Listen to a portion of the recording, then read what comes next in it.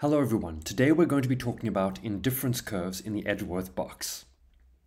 Okay, so to get started, we need to think about feasible allocations and bundles in the Edgeworth box. Remember, in our story, we have two people. We have Ayanda and we have Biko.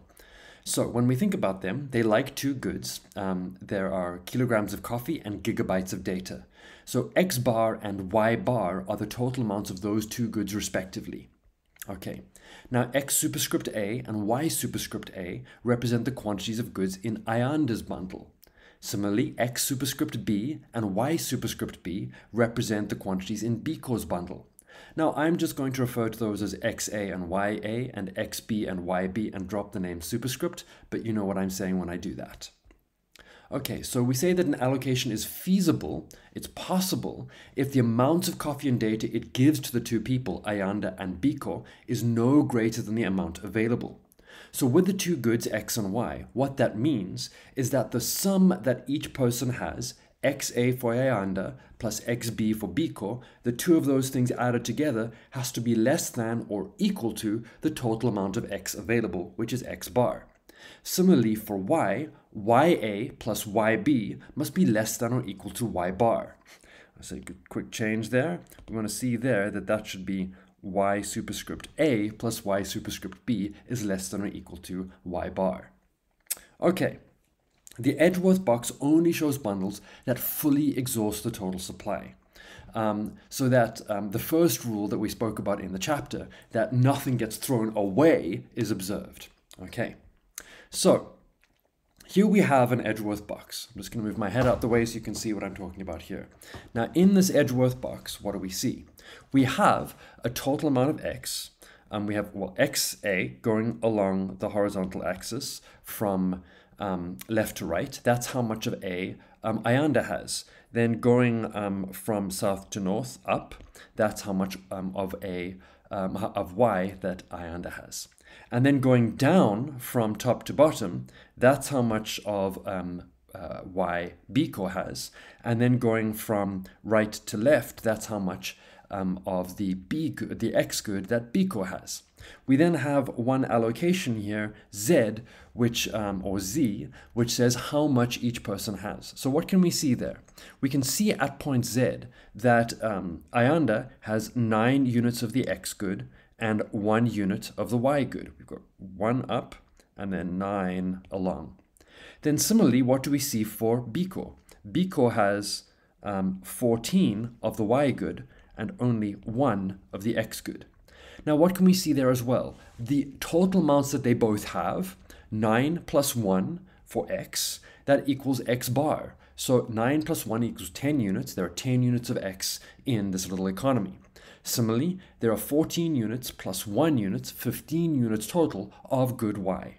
So, what's a reminder here? Every point in the box is an allocation that uses up all of the goods. They have to sum to all of the possible allocation, or to all of the possible um, numbers that they could get. So X bar and Y bar, they're exhausted at any point in the box.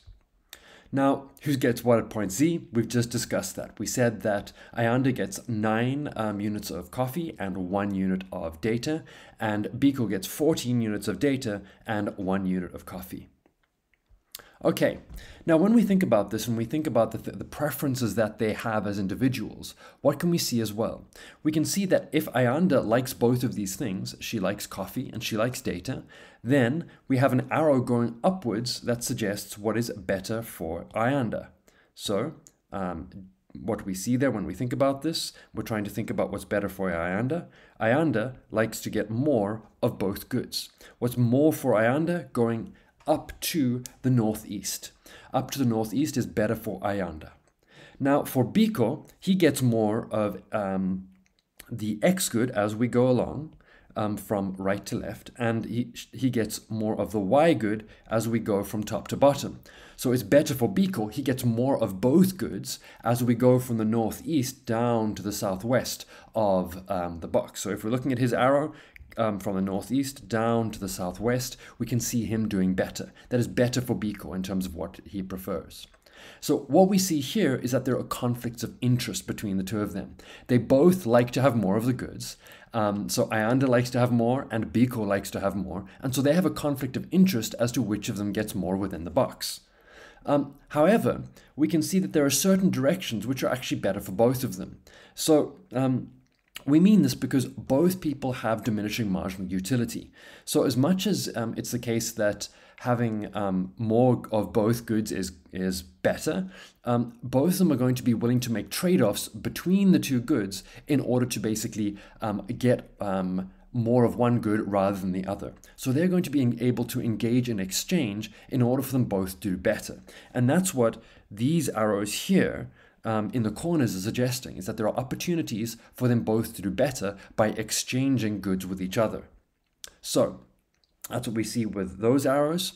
Um, and I suggest that if you're a little um, I'm not sure, unsure about what's going on there, just think about what, what would happen if um, we were at the previous point, point Z over here, and Ayanda could potentially get one more unit of Y by giving up um, a unit of X. Would she be willing to do that? What do you think? Why would she want to do that?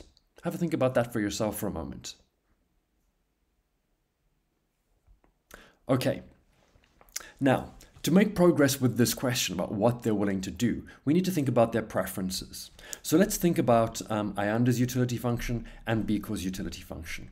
So each of their utility functions are a function of their own consumption of x and y.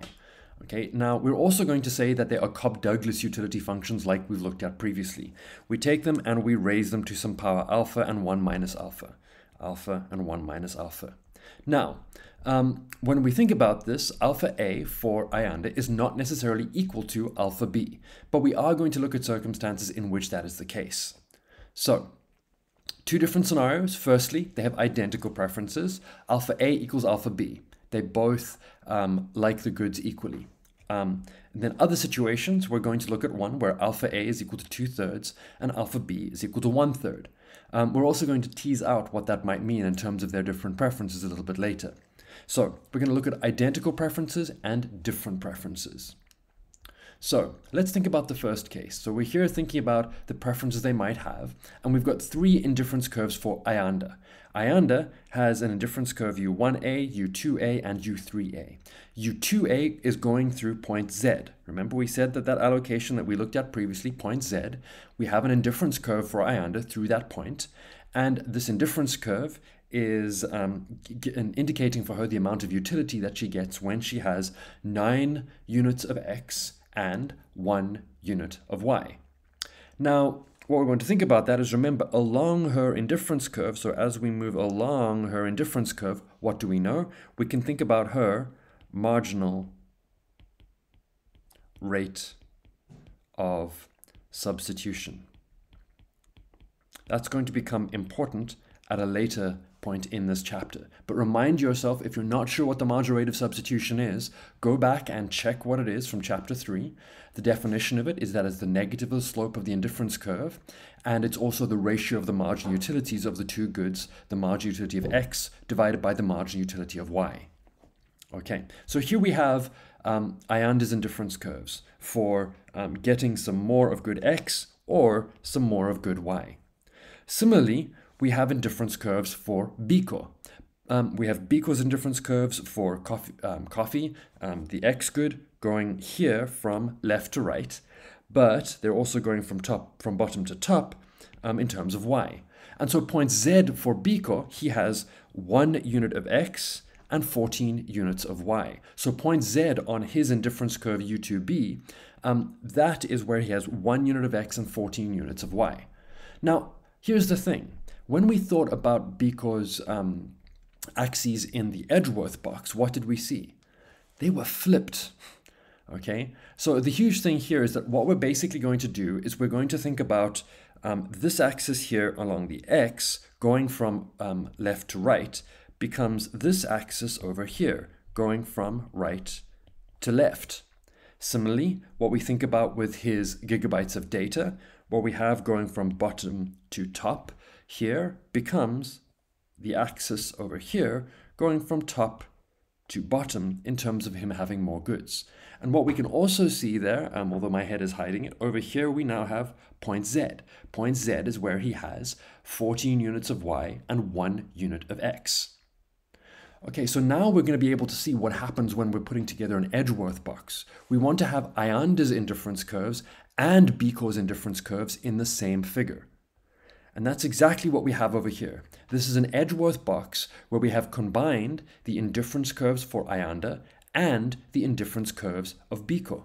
Remember that we said for Biko, going from northeast to southwest indicates to, for him the things that he prefers. Why? That's where he gets more. For Ayanda, it's the opposite. It's going from southwest up to northeast. She gets more as they move in that direction. But we also said that there's a possibility for them both to do better, which is to move from, for example, from somewhere in point Z up towards the center of the box. And that is an opportunity, as we'll explore later, where they can engage in exchange with each other. For example, Ayanda giving up some of her X in order to get some Y from Biko, and Biko giving up some of his Y in order to get some X from Ayanda.